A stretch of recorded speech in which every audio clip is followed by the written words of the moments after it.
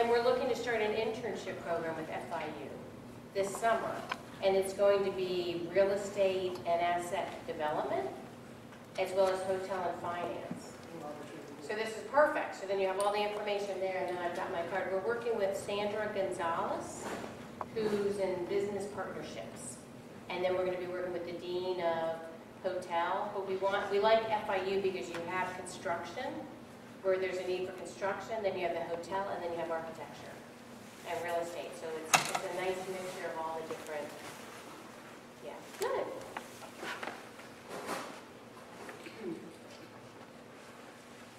And my screen manager. You can see me, right? We do, and that's why we're looking for interns. We actually hire two analysts that do pro formas for us for projects. Um, So the ownership group, I can tell you a little bit about Prime. We have copies here too. Um, So the ownership group, if you flip over the first page, it tells you a little bit about Prime Group. We're based in Hollywood, Florida, and we're a private company. The Abbo family started our company. Um, Larry Abbo is the CEO, he's my boss, and Fred Abbo is his father. They started back 25 years ago in home development. And they built home communities, and then when the market crashed, they thought, hmm, maybe we should be diversified so that we don't go down with the market. So they had a lot of land, and they started to develop, which sort of fits into this little market design, but they would buy big pieces of land, sell a lot off, and keep a small portion. And then after doing that for 10 years, they thought, well, maybe we should keep it and start developing it ourselves. So their first projects were in Homestead, near that market. Um, We own three hotels in Homestead. We started with a Hampton Inn, a Courtyard, and a TownePlace Suites. So we'll take a parcel of land and they'll add a hotel, and then we added some commercial in the front, and we have an Outback and a Starbucks and a couple other things in the front. So that's really how they started. They would just buy land. And Homestead, right by the hospital, um, it's really, it's like the exit before you get to the Keys. Okay. I live You know, in the Redlands, Oh, good, so you might know. We also have a restaurant there, Portofino Coal Fire Pizza. Have you really? Good, that's good. that you've heard of it. It's good pizza. Um, So that's a little bit about our company. Um, I'm here to talk a little bit about hotel design. So I thought I'd show you actual projects that we're working on. Um, So that's about Prime. Then if you look at the hotels that we have, we have 17 hotels that I oversee. As the asset director, I don't directly manage the hotels, I work with a management company. We do manage some food and beverage operations, but I work through a management team. And I always say, I'm responsible for everything, but nobody reports to me. So it's more, you're trying to get things done through the management company, but I, I'm looking at top line, bottom line, and our market share, and then the building. Those are really the four things that I focus on. But we have a lot of different hotels. If you see here, we have Playa Largo Resort, which is in Key Largo. Um, It's a very nice resort. We have the Daytona Hotel and Art Ovation in Sarasota. These three are autographs, which are very cool if you look at the design. Um, It's a soft brand with Marriott, so you have a lot more opportunity to change and do what you want. It's not as structured as a regular Marriott full service. Excuse me, I'm going to ask you this. What actually you're offering? Are you offering uh, landlord or tenants or services to people? No, well, Prime Group does. I'm talking about hotel design, but if you are looking for space, we have retail space and we're looking for tenants. Um, we have a, a space at seven twenty-one North Federal Highway, and we have retail space, so we're looking for tenants to do that. We always look for people to partnership and development, so a lot of different things the company does. So they're very diversified, all over Florida, from Sarasota down to Marathon and Daytona. So a lot of apartments and hotels. That's been our big focus, those two areas. Do you do mixed development now? We do. Um, So probably our biggest mixed development project, well, we have two. Um, One we're doing right now, if you know Fort Lauderdale, we're at 721 North Federal Highway. It's across from the Veterans Park, Um, and that's a mixed use.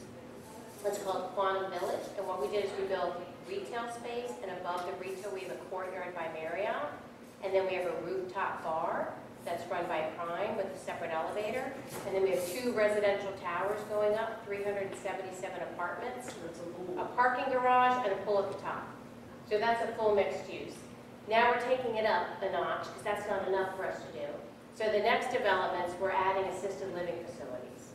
So we're adding those, and that's gonna be under the hotel development. So there's a couple sites that we're looking at now in South Florida, where it will actually be commercial building, one or two hotels, apartments, assisted living facilities, and retail. So we're doing total mixed use. Are there many developments like that that incorporate ALS? I don't know, if- I don't really don't know That's many. I've ever I heard of think we could be one of the first to incorporate it all. Uh, For your hotels, how much acres do you need, like two acres separated? You know what, it totally depends on which hotel you're building. If you're doing a resort like in Playa Largo, that's a lot of acres that you need. Otherwise, you could do things in a really small spot. Um, we're looking at something in Miami that's teeny, I'm like, I don't know how they're gonna do it. But it's in the back of a commercial area above a parking garage. And assisted living, living facility, how big would you need? Those we're looking to be larger because we really want it to be more like a resort feel. Um, and that's where we see assisted living development going to more resort and active feeling. Um, some things we're doing with our first assisted living, which is actually down in Homestead where we have three of our hotels, is incorporating outside with inside as far as restaurants. So we're gonna have restaurants in the facility, so assisted living and independent living can use the restaurants and not have to leave the property. So really incorporating more of the resort feel, which will be fun. And modernizing the assisted living, you know, everything's evolving so much, it's the same thing with the assisted living development. Thank you. Good, so you see we have everything from a Sleep Inn to a resort in Playa Largo that does 44 million a year. So we have a lot of diverse different assets. This shows you a little bit here, and you have to look at our website, um, of our projects, and they're all very unique. When we do hotels, as far as design and autographs, we want them to fit into the local market. We did a hotel in Day- Daytona, it's called The Daytona, and we partnership with NASCAR. So we were very lucky that we could use the Daytona. It's across from the Speedway, and that's a mixed-use development that we did the construction, but the retail went back to NASCAR. So we own a Fairfield Inn, an Autograph, we did 300,000 square feet of retail, there's a Bass Pro Shop, a PF Chang's, and then we built two apartment buildings. They're doing so well, we're adding two more apartment buildings. And then we're going into phase two development in Daytona. And that's going to include a huge water lake feature and sports complex, because youth sports is a big avenue right now to drive revenue. So we're doing a huge youth sports complex with NASCAR back there, and then more apartments and adding one more hotel.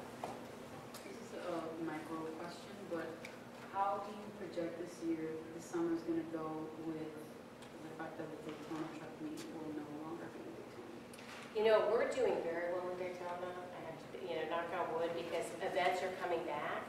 Um, and we're right across from the Speedway. This was the, the first year that they sold out for the Daytona 500 so far in advance. They were sold out six weeks before the race, and they haven't done that in a long time.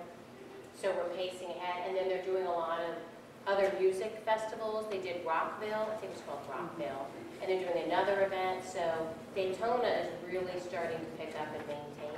That's good, so, uh, I mean, the one that they have in the summer, in June, the Mhm. Daytona truck meet, that's not gonna affect you guys? No, no, it won't. I think that they had bad press, I think, for that event, and then some of the Daytona downtown didn't want it, so it was sort of like a tough, even though it wasn't a big issue, but bike week and everything else, we're pacing very well in Daytona, which is good. Um, So again, that's an- another idea for, you know, how do we draw business and looking at development? And that's where we thought of having a youth sports complex. There's one outside of Sarasota, I should know the name of it, it's very famous, where people go and train. Um, and we do a lot of business with that property. Oh. St. Armand Circle? Hmm? St. Armand Circle? in Um? It's near that, but it's something academy, IH Academy, I can't remember, it's a sports academy. Um, but we're trying to do something like that when we do sports.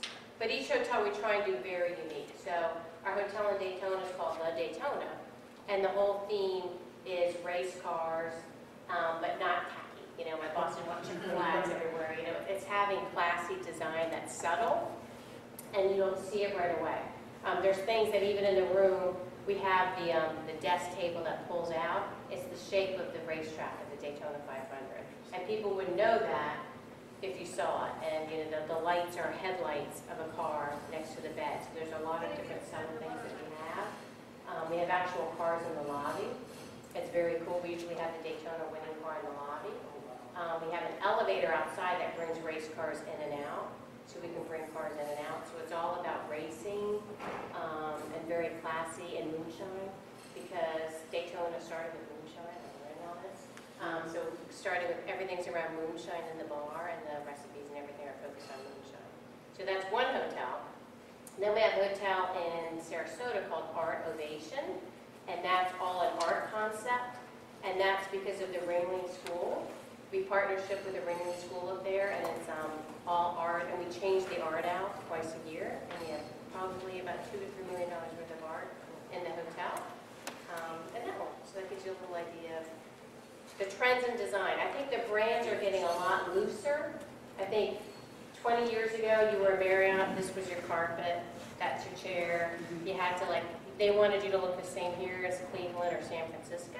I think they're learning that's not what people want when they travel. They want to feel regional and experience the local, so they're really being more flexible, much more than they used to. And I think they're seeing that because people are developing soft brands.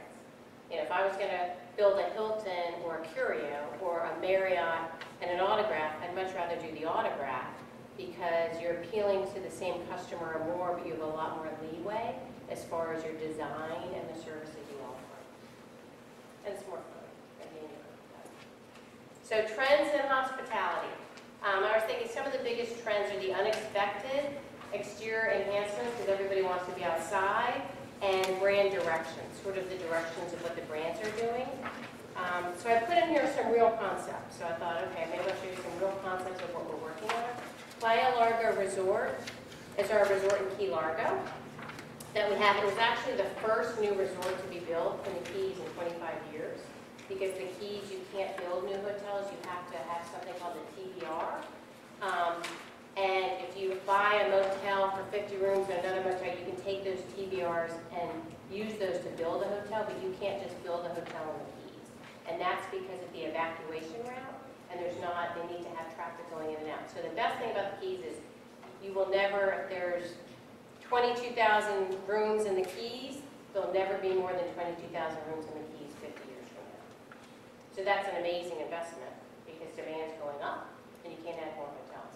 So what my boss did is he bought a bunch of small operating hotels, took those and built the first new resort in a long time there. Um, Building in the Keys is very challenging and slow. It's not the easiest thing to do. I wouldn't recommend it for the first one, but um, it came out beautiful. So what we've learned too is after we build a resort or a hotel, things evolve after two years. And you're open, you're like, hmm, maybe I need to do this, or you look at spaces that weren't used. So to go through some new design concepts I put in here, we're actually working right now on several projects for Playa Largo. Um, so after we open, we look at the space and say, okay, what do we want to redesign or what are some trends? The first slide here is we came up with an idea, I feel like 10 years ago, but it was two years ago, pre-COVID. So we're just now getting permitting for it. But this was a space in the hotel that was back of house and sales. And we thought, you know what we're missing? We're missing a Starbucks, a candy store, an ice cream for a resort. So what we did is we looked at the space, how we could convert it to a Starbucks that we could operate, and then started looking at design. And then whenever we look at a space, we do something called a pro forma to see what the return is. So we did a pro forma on this, and we could do about 800000 a year, running a Starbucks candy shop with an investment of about 700000 So that's a new one. That's an easy one. Um, so this is a big project that we're starting to work on. These show you some of the design concepts. So what we'll do is we'll, we have internal design team, and we're actually looking to hire some designers. So I have cards if you guys know anybody. But we work with other designers that give us the presentations, and we go through, and we check what do we like, what do we not like, what are some of the trends that we're seeing. So there's two concepts here that they presented to us. We like the second concept a little bit more. So if you can look here, it's, um, it's more residential feel for the Starbucks and adding the candy shop with it. Um, The next slide here, which is another big trend, this is, says La Maria, We have a restaurant that serves breakfast in our resort, but it's very difficult to capture people for dinner because people typically don't want to eat dinner when they eat breakfast, is what we're learning. They want to go somewhere else. So cooking kitchens and cooking classes and demonstration kitchens are a big trend right now. So this is what we're doing with our La Maria. So it's going to be a buffet, like a mercata Italian, with a big fire and cooking the bread in the morning. But then in the afternoon, we can do cooking demonstration classes, we can use it for group breakouts, and it makes the space active where it's not sitting dormant and boring for the day. Okay? Then the next concept we're working on is outdoor space.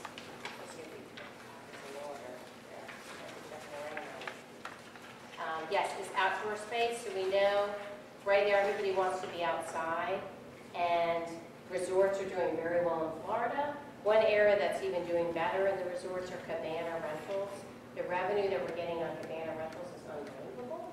So we're renovating them and adding more cabanas wherever we can. Um, So this is just showing you some of the things we're looking to do to the exterior. We're looking to add some unexpected swinging chairs in a restaurant.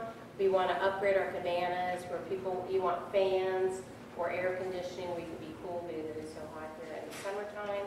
Um, Fire pits and things like that with the cabanas. Some of the other resorts we have, we just bought a hotel in Marathon, we're looking to do two-story cabanas. Um, That's a big trend now, so you can rent both stories and then have them go around, which is interesting. This is just design of um, a terrace which is off of the lobby, and some of the trends here with the fabrics. You can see there. Um, The other thing we're looking to do for outdoor spaces, if you look around the pool, um, day beds are also a revenue stream. Um, So we're looking to get day beds, you can rent those out now or do food and beverage minimums. They're very popular. And then, of course, the other one is the Instagrammable item. Everybody needs an Instagrammable thing, so people take pictures. So we're always looking at unique furniture. This is some furniture we have that is unique here, but we want to add some more Instagrammable, unique items throughout the resort so people can take pictures. Uh, question, when you mentioned about um, two-story cabana, Mhm. so uh, when I was at, um, I forget it was in Sarasota, but I was surprised, I saw two-story restaurants. Is that Mhm. something that is kind of like trending now because of the spacing and It is and with views, so we're actually looking to do that. So the hotel that we just bought in Marathon was a Hyatt Place and then independent for a year, and they have a restaurant called the Lighthouse Restaurant in the Marina, right in Marathon. And it has a great bar overlooking the marina, but it's the same level as the marina. So what we're gonna do is add a second bar on the rooftop and do a second level, so you'll be able to go up the steps on either side, and then you can actually see the marina and the boats instead of being right at the same level with them. And then we'll have the restaurant on the rooftop, and then the cabanas will go off of that. So then on either side of the restaurant, we'll probably have three or four cabanas on each side that'll be on that story, or you can access them down below.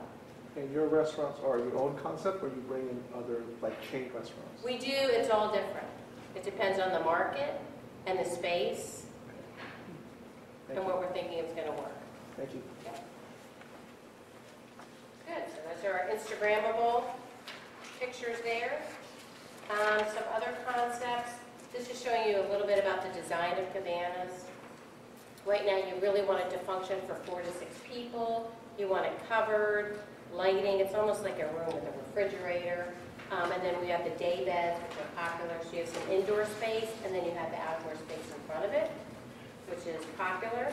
Here we have some other concepts here to give you an idea. Um, And then the other big trend is unexpected. So our restaurant, you know, even working with the brands, you want to have swings in the restaurant, and things that people don't expect. Even in meeting space, you know, we were touring with some people with Hilton. We built the Hilton in Aventura that opened last March. Um, And we were touring with that design team. And they even want meeting space to not look like meeting space. They want it to look soft seating with swings and playful and nooks and really change the whole look. So I think the future of the meeting space is really going to totally change as well. I have a question. Um, When you're um, doing trends in hospitality, how often do you need to reevaluate your assets to see when you need to update them?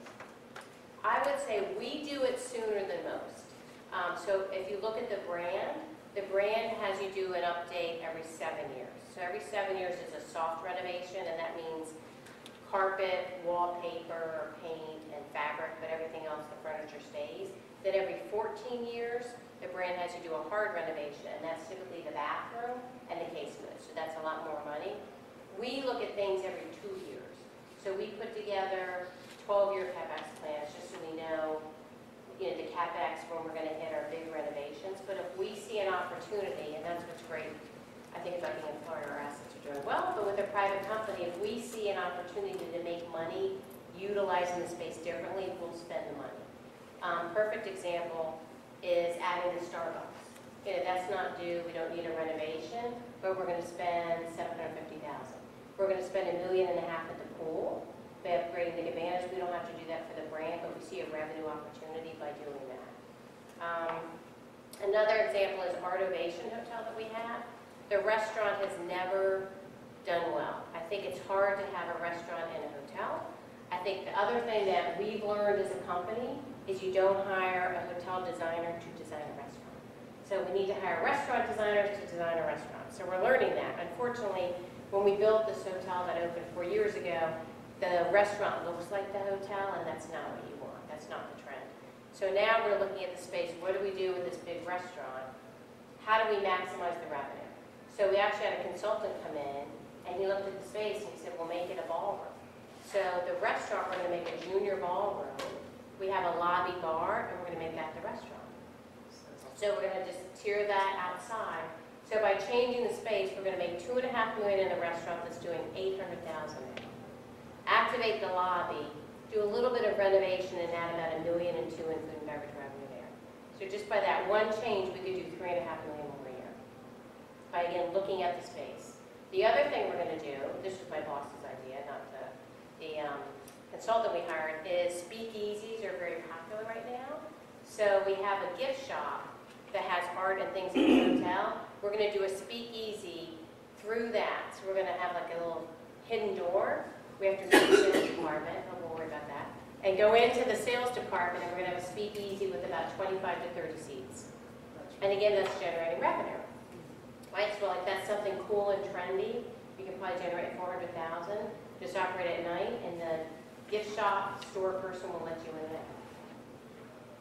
Would you be interested in taking over or leasing uh, former uh, salon and spa? You know, I think typically we like to own and not lease. I might know people that are looking to do that, because spas are actually doing very well right now. Um, it's a good market. We're doing, in our resort, the spa revenue is up. So I might know people, um, but we typically own, and then we have a management company manage, and we oversee some food and beverage. I mean, maybe you could take over the lease and then let somebody else manage it. Maybe we can look at it. I can give you my card, and I can get your card, because we're always looking at that and opportunities. But I think the biggest thing is exactly what you're saying. If you can go in with a, a clean slate and look at the space, and what is the best space? You know, sometimes it's good having somebody come in because the staff is emotional, you know, food and beverage people, I love them, but they're like, no, you can't change my restaurant, or no, you don't want to take this away, but you have to look at what's the best use of the space, and do you lease the restaurant? You know, we looked at that. Maybe it shouldn't be a hotel restaurant, maybe we partnership. You know, we still own the building, but running, running a hotel restaurant is a challenge from day one. And you need to give them a reason to come in. And maybe having a huge restaurant at that location is not the best spot, but you're doing well in catering, and that's why the lobby bar is busy. Just maximize those spaces and don't try and be a, a fine dining restaurant in Sarasota when there's a lot of competition. For you, does it make your job more interesting and exciting to work for a private group where they're so quick to react to, um, to the market? Yes, it's nice, it's nice because they have money. I've worked for, I worked for Marriott, and then I worked for a group called Thayer Lodging. I worked for Blackstone and Hilton, so I've worked with a lot of different groups. And then I had my own company for about two years, right when the stock market crashed, which was very stressful because it was my money. So it's a lot easier with someone else's money, but it, it's also, it's easy because they do have the money and they're long-term holders. So having their own construction company, we tend to overbuild, so they build things right. Everything is concrete form, everything is very high-end.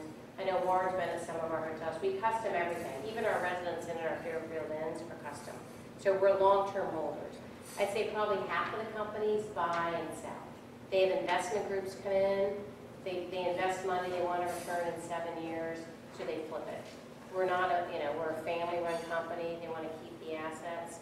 I tell him he overspends, he buys carpet then I want to change in seven it's never gonna wear out. I'm like, don't buy that good of carpet, because I don't have to change it anyways, with the brand, with the brand specs. So, yes, it's much easier to be with a company that has the money to do things and change. The courtyard we built in Fort Lauderdale um, had a fitness center on the rooftop, and we were walking probably six months before opening, and my boss said, well, should we do a rooftop bar? And I said, yeah, we should do a rooftop bar. This would really make sense. They're popular right now. A lot of people can't create it. Pool's up here for the fitness center.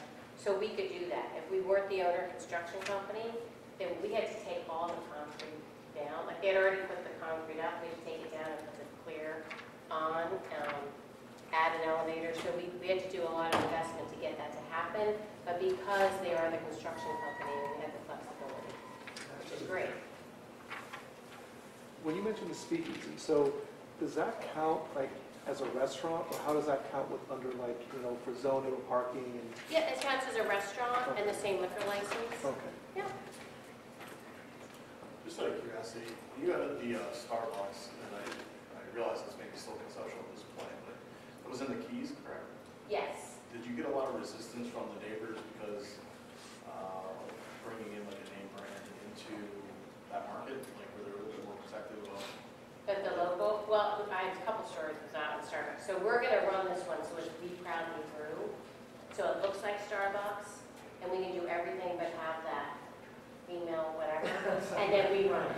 So we're doing We Proudly Brew inside the resort, so really, we're just gonna capture people in the resort. But we tried to open a Starbucks in Marathon in front of our courtyard. We have retail, we have extra space for retail. We couldn't put a Starbucks in because you couldn't turn left without a light and traffic, so it's very difficult. They nixed our Starbucks there. Then up in Daytona, um, where we have one Daytona, below our autograph hotel, I wanted to put a Starbucks. But it was funny, the, the retail people wanted local. So there is a constant struggle, who do you bring in, how do you find the mix, and what is the best fit? And they're pretty strict, they need certain drive-through and other things, but the We Proudly Brew works great inside the resorts. And then we have one doing Aventura in our Hilton. Good. So this is the restaurant, just some concepts there. Um, Then another project we're working on that I included here is, it's our courtyard by Marriott and Marathon. So this is a courtyard, but we added an extra tower. So it's really, it's a courtyard that gets resort rates. Even when I started the company, I'm like, I don't think this should be a courtyard, because to me, mentally, you're only gonna pay so much for a courtyard. This hotel, we do get three ninety-nine to four fifty a rate, um, because we have two pools, it's on the water. So we're even looking now, working with Marriott, and again, this is going towards their flexibility. I think they're seeing the soft brands are popular. They're gonna let us change the name. We think to Blue Waters Resort by, I think Courtyard by Marriott brand. So they're gonna let us call it the resort and then put Courtyard down below, which would be great. Then you get the best of both worlds. Um, You guys So- do anything with that little lagoon there and like the little rock and everything? At the Courtyard, Yeah, the, the blue water. I was down there like two weeks ago. oh, that's too funny. We're doing a ton there, so you get to see all the plans. We're spending about a million and a half. Sweet. So we're fixing the, the wall going out, and we're gonna have a fire pit. So, I saw the one in the water that was there. yes, so we're redoing that, but there's a walkway that's all falling apart, Right. and that's where we bought the hotel next door. Yeah. And we just closed on that February 14th. So we're gonna fix that whole wall, um, or that, you know, the seawall with sand, we're gonna have a fire pit at the end. We're gonna have lights going all the way down from the bar, all the way down to the water. We're redoing all of the furniture there. Again, we opened it as a courtyard, and now we're really getting resort people. We wanna make it more of a restaurant. You can even see some of the design. The first one is just the bistro. We're changing the bistro so that it can be more active at night. Because when it rains, I think people want to go to a bar and somewhere to hang out. Now it looks like a bistro. So we're changing that design. But if you look at the outdoor space, we're totally changing that by changing all the furniture to be the restaurant feel, adding the lighting, and we're going to add cabanas. Um, And then we have a beach at this resort, but they're separated. There's a big landscape. People don't even know we have the beach. So we're opening up the space from the pool to the beach so that you can use both areas. And then the plan is with the Faro Blanco resort we just bought, we're going to make it one huge complex. So we're going to have a road going between the two, and then probably have that be a Hilton brand, and keep this a Marriott, because then you have both reservation systems, you have the best of both. And it'll be Blue Water compound, the courtyard and a curio, whatever we decide to do on the other side. Yeah, we have a time plan for that, which I can't wait. The only problem right now is I've been waiting about nine months for day beds that were supposed to be delivered a long time ago from my rooftop. So the supply chain is about a year, if you're lucky to get it. Um, So here are some of the design concepts for the inside space. If you look at this page, this will show you exactly what we're doing for the outside. Um, And this is the actual rendering, so we're going to redo lighting and add a fire pit with chairs. We're adding four cabanas here. We're going to add more of a beach here. Um, We talked about adding a water park. I know you can see the floaties by Bass Pro Shop, the kids' water park area, and there's certain floaties. We think we're going to add those on the other side. And then after four years, we finally got permitting to build a marina. So where we did that addition, um, we're adding a marina in that area, will activate that as well. So again, the trends here is really outdoor dining, where originally it was just a pool bar. We're going to really make it a restaurant, and we're going to add a stage, because in the Keys, live music is everything. So you live music every night of the week. So we'll have a little stage and make this much more of a lounge area for food and the cabanas. There. And then you can see some of the design trends with the furniture. There, and again, a lot of it's about the fire pits, and then you can see there's some unique sunshades, and again, things that are hanging, a lot of swings, colors, and then different sunscreens, and then lighting very popular. That's. What else? That's the big project we're working on right now. Cool. They're pretty cool. It's fun because we, we do go in and change things after we've operated for a couple of years. And it's nice being a soft brand. You know, my favorite brands are Autograph and Curio because you do have the flexibility to do a lot, but the brands are getting much more flexible.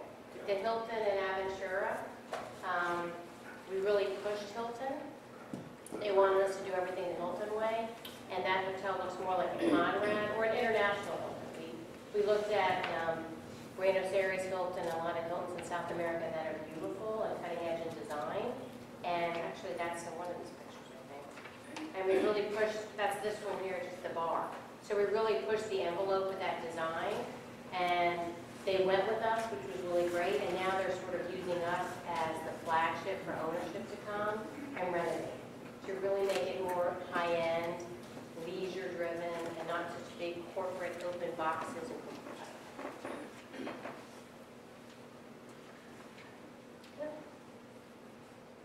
Questions? I have no idea what time it is, but any other questions? Do you have any extra of those?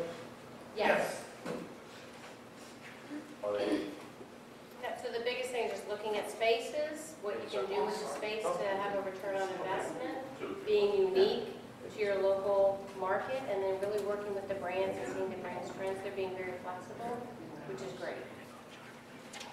But it's a great investment. Florida's a great place to be because we're doing well. Um, But the mixed use is also great because you can have the hotel, the residential. Have you guys done any affordable housing projects?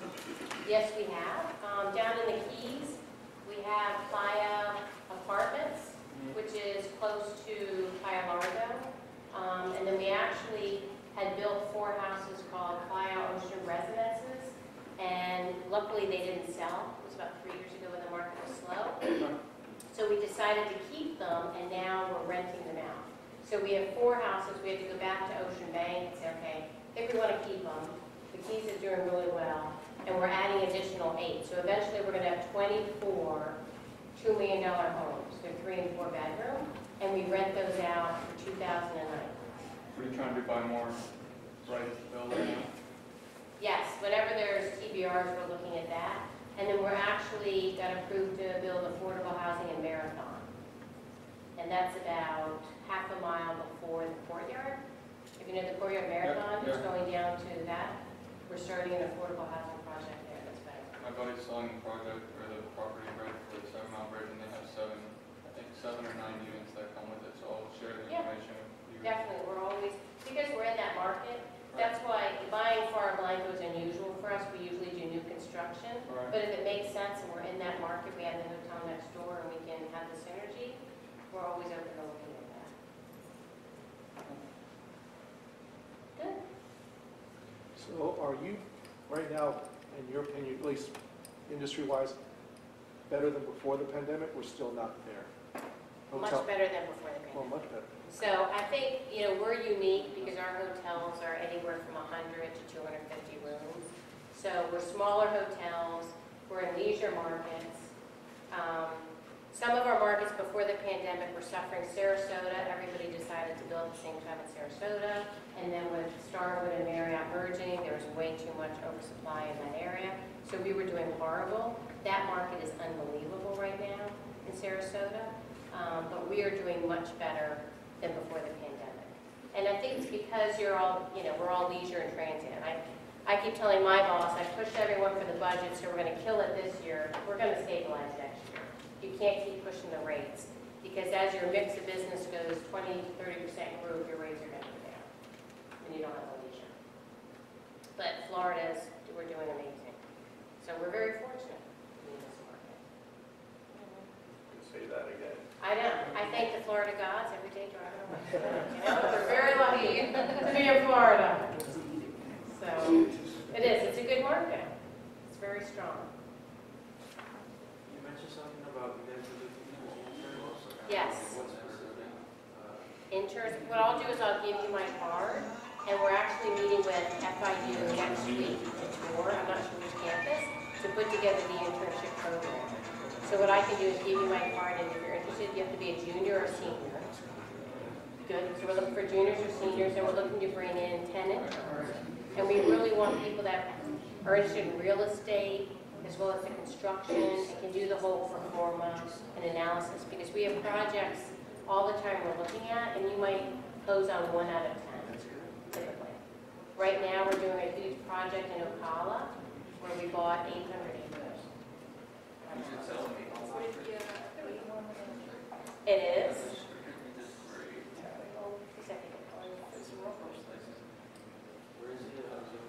Hollywood, Florida is where our corporate office is. What, uh, what type of roles